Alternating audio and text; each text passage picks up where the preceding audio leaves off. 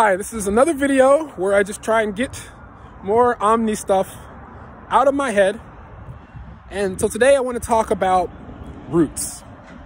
A little bit more about roots and the idea that the roots that we have are essentially related to worldviews. Everything, everyone has a worldview, whether we're aware of it or not. And these worldviews have foundations.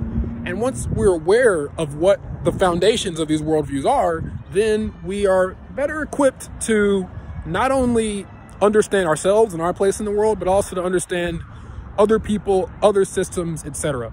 So, you know, what's an example of a root in this sense, uh, the foundation of a worldview? Well, you could have the view that the world is an orderly place, or you could have the view that the world is unstructured. And if this is a foundational view that you carry with you, that changes how you move through the world. If the world is orderly, then you might look to certain places for knowledge or structures that already exist so that you can use them. But if you think that the world is unstructured, then you might take random actions to try and solve your problems because there's no structure there for you to take advantage of and leverage, right? So the difference between these worldviews changes how you fundamentally engage with the world and ultimately what you even believe, right? So that's an example at the personal level. What happens when you get to maybe the organizational level, right? You start thinking about, for instance, the way different companies might behave based on the root beliefs that they carry with them, right? So in the USA, the idea is that the market is the key, right? If you let the market do whatever it's supposed to do, then good things will happen. That's the US view.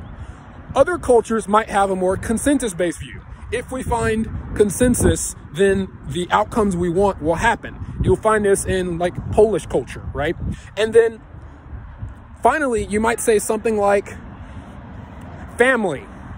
This, this, this notion of a family bond is the thing that keeps us all together. This is something you might find in Chinese culture, right? And the roots that these organizations and these cultures carry with them determine the way they behave and the values and the practices that manifest and that are valued in practice and why, why they're valued and practiced. Now, what about knowledge itself, right? What are some roots of knowledge? Well, you could think of this in a couple of ways. You could think of this in a specific way, like uh, what is the root of a very specific subject, right? Um, or you could think of it in a slightly abstract way. So let's think of it like this. You could engage with knowledge emotionally, right? And so whatever you feel to be right is the truth, right? You could engage with knowledge from this experiential stance of if I experience it and learn from it, that's what's true, right? And if you think that that sort of thing is the way you want to uh, understand the world, that's how you interact with the world, then maybe if there's a book or a video or something, since that's not, since you're saying you have to experience it, then even if this knowledge is presented to you in this form, it's not the form that you value. Because it's not the form that you value, you wouldn't use it, right? So understanding the roots of who we are, how we engage with the world, how our cultures are, our organizations, all of this helps us to be more explicit about what it is that we actually believe and why.